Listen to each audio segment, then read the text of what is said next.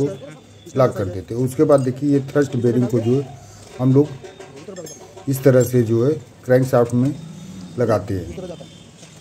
और जैसे एक साइड का तो हमने लगा दिया, अब दूसरे साइड में क्रैंक को जब हम उस साइड में अपोजिट साइड में इसको हम प्रेस करते हैं, या हल्का सा हैमरिंग करके क्रैंक शाफ्ट को जो है, उस साइड में हम लोग कर देते हैं।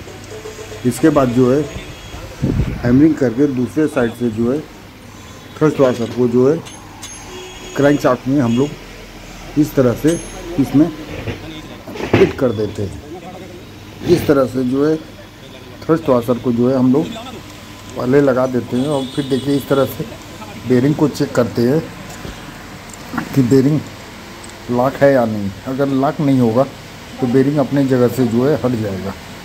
तो इस तरह से जो है, हम लोग थ्रस्ट वाशर को फिट करते हैं। फिर देखिए क्रैंक शाफ्ट के लोअर कैप को जो है, उसमें थ्रस्ट वाशर जो है, हम लोग इस तरह से लगा कर जो है लोअर कैप को जो है, हम लोग थ्रस्ट वाशर लगा कर जो है क्रैंक शाफ्ट में फिट कर देते हैं। तो इस तरह से जो है क्रैंक शाफ्ट में लोअर बेरिंग को लगाने के बाद जो है थ्रस्ट